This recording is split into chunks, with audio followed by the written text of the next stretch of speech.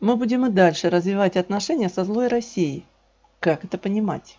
Ирина Алкснес специально для РИА Новости. Свежий обмен репликами между Россией и Великобританией по поводу двусторонних отношений относится к тому типу политических событий, которые вызывают бесчисленные замысловатые толкования с поиском смыслов и подтекстов.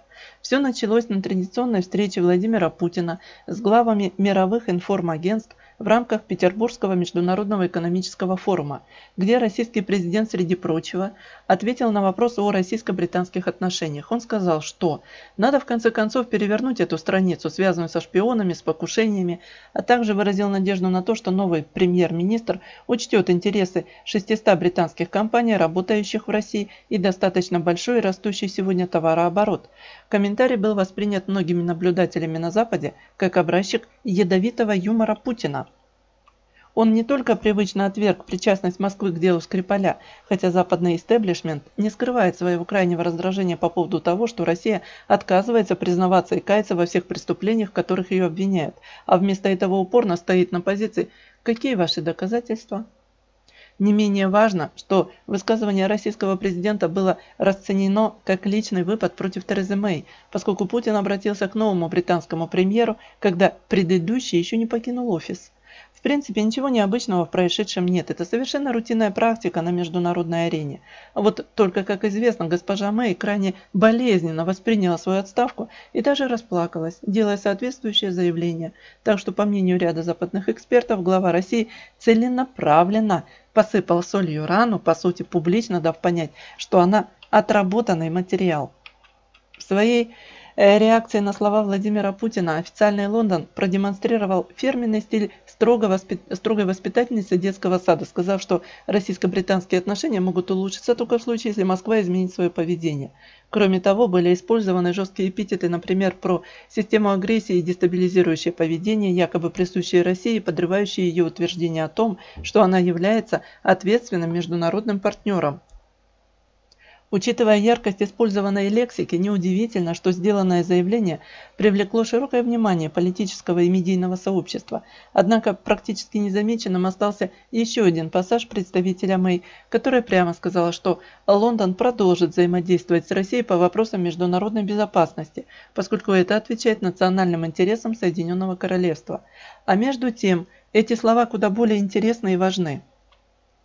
Последние годы, после того, как стало понятно, что России не удалось сломать и принудить капитуляции перед Западом в ходе консолидированной политической, экономической и медийной атаки, в отношениях западных столиц с Москвой проявилась любопытная двойственность. С одной стороны, идет восстановление и наращивание сотрудничества практически по всем направлениям, а с другой сохраняется, а местами даже усиливается жесткая антироссийская позиция в нежизненно важных, но эмоционально чувствительных темах. Например, только последние дни принесли информационный вброс о том, что наша страна может быть отстранена от участия в Олимпиаде 2020 и подчеркнуто игнорирование России ее роли во Второй мировой войне при праздновании 75-й 75 годовщины высадки в Нормандии.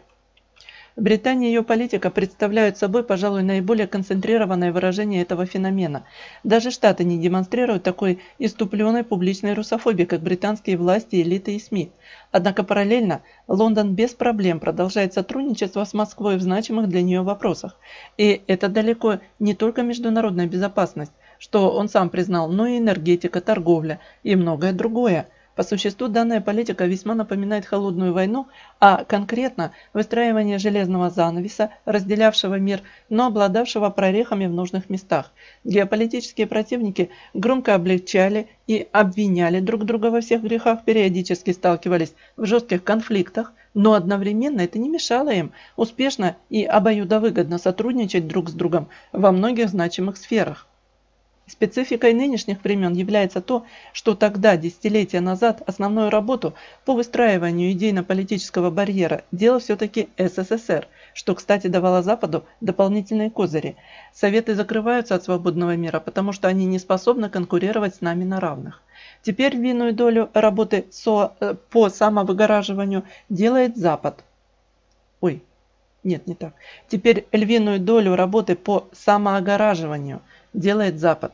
Создание для широких масс жуткого образа геополитического конкурента является органичной частью процесса черной краски для России, да, и других стран, например, Китая, не жалеют. Есть только одна проблема. В конечном итоге СССР закрылся от мира потому, что руководство страны осознавало, что советская система проигрывает западной в эффективности и привлекательности, по крайней мере в глазах граждан. Ничего удивительного, что на вооружение был принят принцип «держать и не пущать». Но кончилось все не очень хорошо. От накопившегося давления крышку общественного недовольства сорвало, что обернулось национальным крахом. Спорный вопрос. За нынешней оголтелой антироссийской кампанией все более отчетливо сквозит страх западного истеблишмента перед тем, что предлагаемая э, России альтернатива может показаться достаточно привлекательной для многих людей на Западе. В результате произошло обращение к советским методам пропагандистской работы, причем в самых кондовых вариантах позднего СССР. Так что усилие публичной русофобии и агрессивности обвинений в адрес России может служить надежным индикатором того, насколько сложно является ситуация в стране и насколько нервно в связи с этим себя ощущают ее элиты. Учитывая текущие внутри и внешнеполитические процессы в Британии, ничего удивительного, что именно эта страна уверенно держит пальму мирового первенства по громкости и жесткости антироссийской риторики. Ирина Алкснис специально для РИА Новости. Мы будем и дальше развивать отношения со злой Россией. Как это понимать?